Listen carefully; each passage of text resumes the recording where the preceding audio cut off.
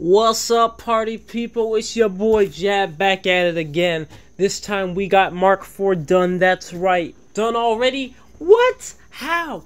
Usually it takes me about six months, but this time around it's only gonna take me about six days. Okay, maybe not six months, three months. Anyway, so we have these two 40 pound propane tanks. I had to empty them as you just saw. I vented them all night.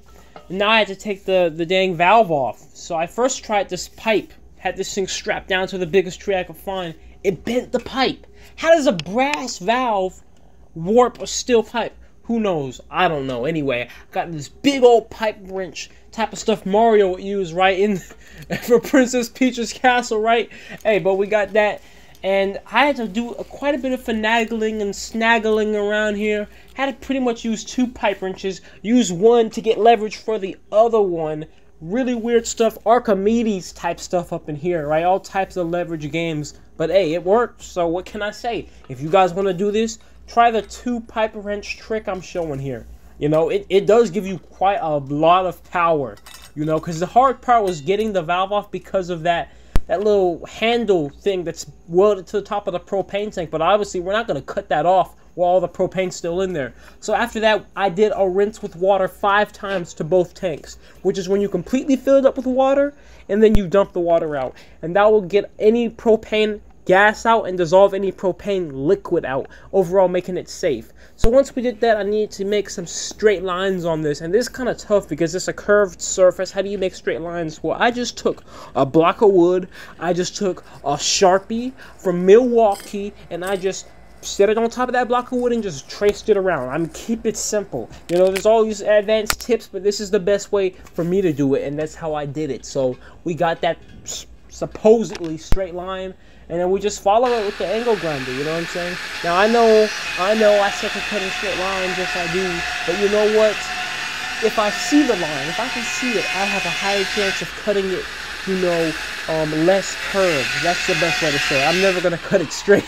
Just less curved, right? So I went ahead and I cut this off. It was really satisfying. It did feel like I was in Star Wars when they cut the doors open at the very end. I know for you guys it seems like it the whole time because I sped it up, but but for me, at the very end, it felt like Star Wars. Okay, look at that. Oh my goodness. That, that was very satisfying. I can remember how I A felt. nice and clean first cut here the beauty of being able to mark something and cut on the line, right? So as you see, when we have the two cut checks lined up, it is literally the perfect length of this blade. So, with that being said, time to grind this out and then weld.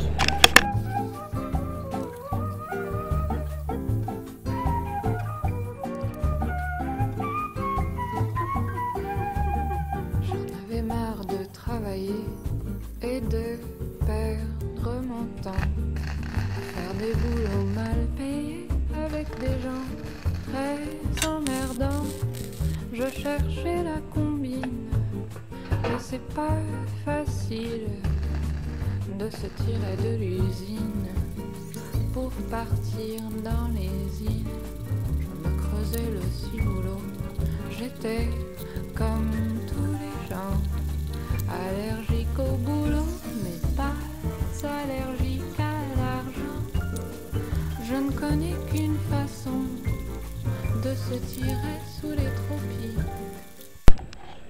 Right, two and three is done. Most consistent weld in the world? No, not a chance. But at the same time, it'll do the job. I guarantee that much. Alright, so here's how she looks on the inside. As you can see there, full penetrating weld all the way around, just like we want to see. Now that does lead me to this next point. You see these rings here? These are going to be an issue. Why? Okay, so these auger blades, these auger blades fit perfectly to the diameter of these propane tanks, like perfectly. But those internal rings they put in there cock block them.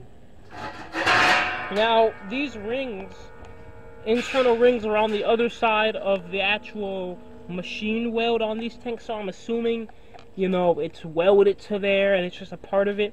So I think the easiest way to deal with this is literally just to unfortunately grind these down. Fortunately, it's not that much that needs to be ground down on these, but I feel like that's way easier than trying to remove that in any type of wear capacity. And that probably will end up damaging or weakening the, the welt that's on there. But that this ring probably is more for aesthetics or maybe not aesthetics because nobody's going to be looking on the inside of a tank, but more so the weld itself is in direct contact with the propane or whatever.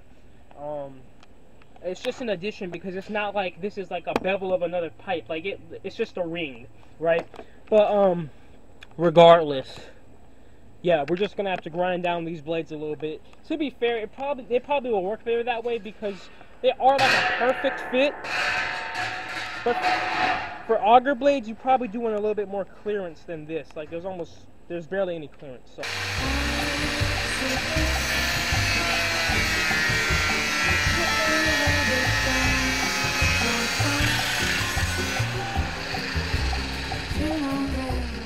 this here is the Manway, guys. This is stainless steel 304. I ordered it off of eBay for $200. And right now I'm tracing a circle around on wood because when you weld these things, you don't want it to warp. So we'll use the wood as a heat sink.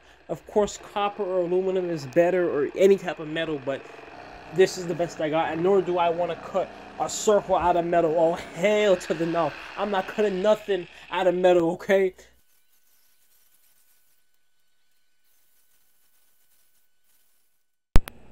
Right. So now it's a matter of getting this manway on there, and just like before, you know, unlike the other things that were cut by hand, this manway was made properly, but um, I guess somewhere is a little bit off because we do have some gaps here. Um, not a big deal, once again, I can fill in gaps, especially with this thicker metal. Not a big deal, as long as everything is even, that's what I care about more than than a gap. You know, making sure everything is nice and even. So, um, yeah, I mean, really, we would. I I need to use um, 309L flux core welding wire. This is 304 stainless. And um, I don't need, I guess, yeah, yeah, because this is 304 stainless welding to carbon steel. So yeah, it is recommended that you use stainless wire so you don't have any cracks or anything forming. Um, but other than that, we'll just put that those wood discs I made in here. And uh, yeah, pretty much just weld this just like that.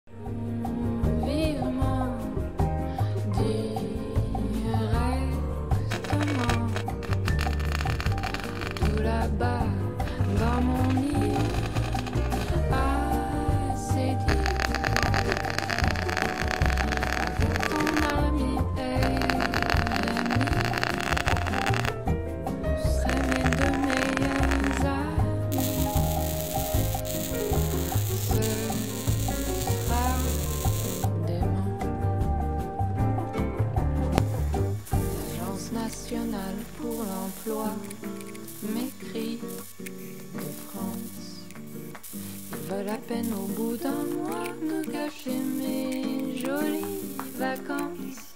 M'envoyant chez Prise décharger des camions. So I'll be honest, I honestly was really frustrated and I was just in a pissy mood while building this whole reactor just because I was mad the last one blew up and I was scared to death that this one would blow up and all my work would be worth nothing again. So I really didn't record that much because when there was a camera in my face when I'm kind of irritated, I want to always punch it. So I didn't record a lot of it, the stuff from this point on, but you know, I just wanted to show you guys what we got.